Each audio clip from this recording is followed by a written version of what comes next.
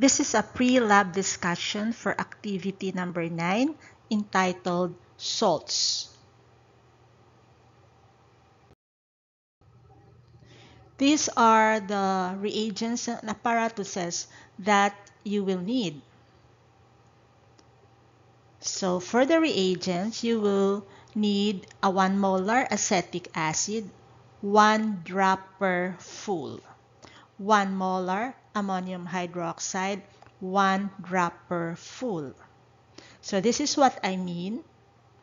You will draw 1 ml, around 1 ml of, that is 1 dropper full, the ammonium hydroxide and the acetic acid, and you will sit the dropper containing the reagent in a test tube.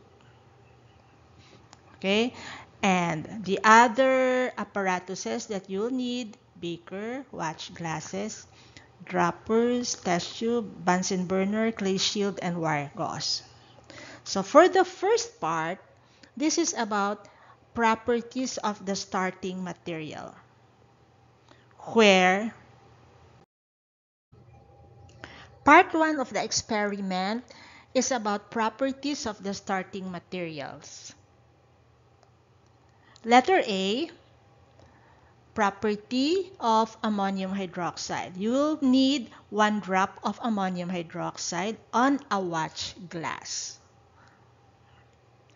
And then you place this on top of a beaker with boiling water. Allow to boil for 15 minutes.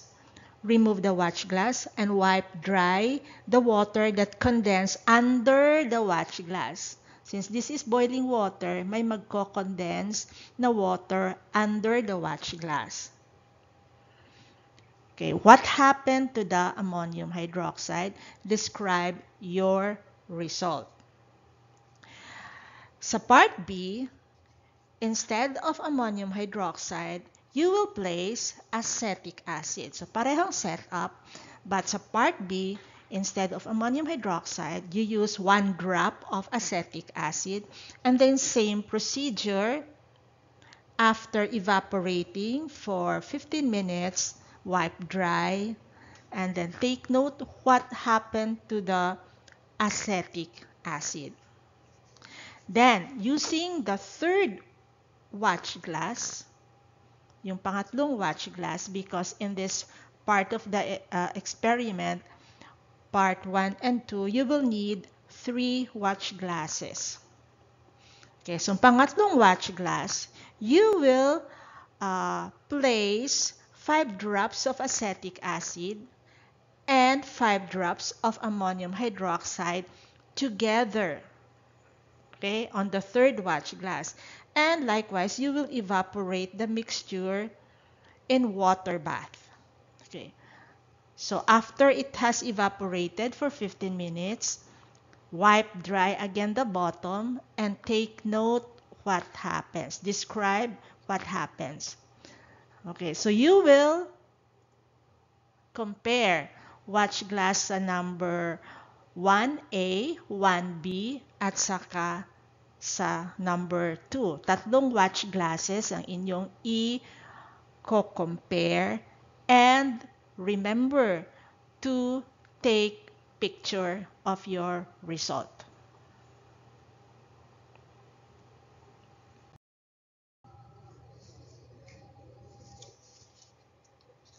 Part 3 of the experiment. This is preparation of a salt by the action of an acid on another salt. So your reagents consist of 3 molar acetic acid, 2 ml, and a pinch of calcium carbonate. You will need two test tubes, an evaporating dish, Bunsen burner, clay shield, and wire gauze. You will place the, the calcium carbonate, a pinch of calcium carbonate, into the test tube containing 2 ml of 3 molar acetic acid. Shake and record your observation. Allow to stand and settle for 10 minutes. Decant the supernatant liquid into an evaporating dish. And then you are going to evaporate to dryness. Once dry, remove the evaporating dish and allow to cool. Okay. Part 4 is preparation of salt by the reaction of two salts. Your reagents consist of 0.2 molar of potassium dichromate, 1 ml. Ganito lang karami ang 1 ml. Yan lang.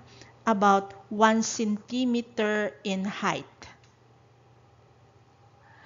And 0.2 molar barium chloride, 1 3 ml. Ganito lang siya kaliit. Okay. You will mix them together. To 1 ml of potassium chromate solution, add a few a few drops. So this will consist a few drops. You will add this into the uh, other solution of barium chloride solution. What take note of your observation, record your observation, and also take picture.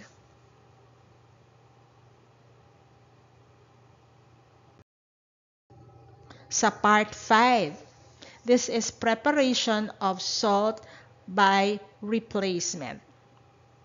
You will need 0.2 molar of copper sulfate, 5 ml in a test tube, and the other reactant is a magnesium ribbon about 1 inch in size.